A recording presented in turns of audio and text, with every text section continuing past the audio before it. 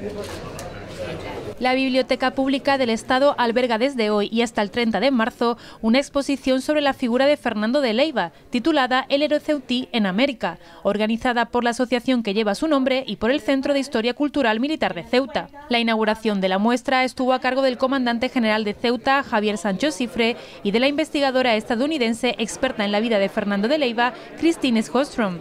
Numerosas personalidades de la vida política, militar y cultural no quisieron faltar a este evento.